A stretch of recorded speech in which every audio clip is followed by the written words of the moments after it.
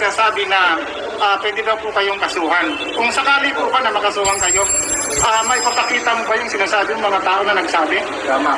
Yung po sino yung taga-Pasay dito na riders, yun po yun. Mga Pasay riders na, tinanong ko kasi, ano, Kasi ano, marami tayong viewers ma'am. Sabi Kasi ko, naka-live po tayo. sabi ko, ano, anong riders kayo? Saan kayong grupo? Ba't hindi, ba't hindi nyo kinausap ang kumuha sa inyo? At hindi kayo nag-usap-usap? Kasi ma'am, ganito ang sabi kasi, bibigyan kami ng panggas pagtapos ng, ng, ano, ng parada. Eh, bakit sabi ko dito kayo pumunta? Ba't hindi pumunta ko? Tanungin nyo kung sino, kung sino, Hindi na alam yun na nangyari pa. yan, yan, yan, at least na yun, sinabi ko yan. Ang sabi Sige,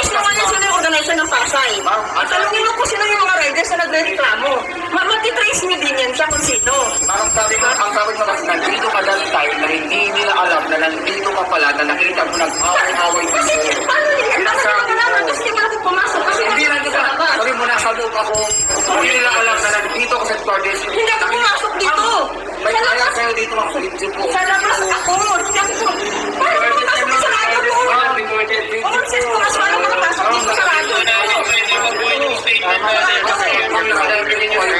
Sabi na nasa loob. Nasa loob ako, hindi nila ako kilala. Hindi nila alam. Ano? Sabay ako. Sabay niya. Sa video. Yun ang sila. Kaya nagsiba yung statement niya. Kasi sa kanya ko ng carousel. Okay, so maliwanag mga kababayan.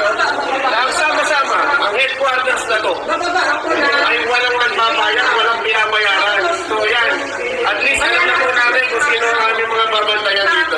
Totoo po yan. So mga babayan, ulitin po namin. Okay? So, tapos tanong, bakit po nandito si ma'am? Sa mga, sa mga oras na ito.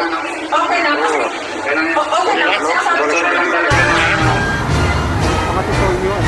At nakalito si Bibi at saka si Ma'am Sara. Na si Ma'am Sara. Eh, nakapiece to face namin si Ma'am Sara doon sa uh, Summit uh, Gold Class. Sa sa kanina, medyo na-late kami ng uh, punta dito kasi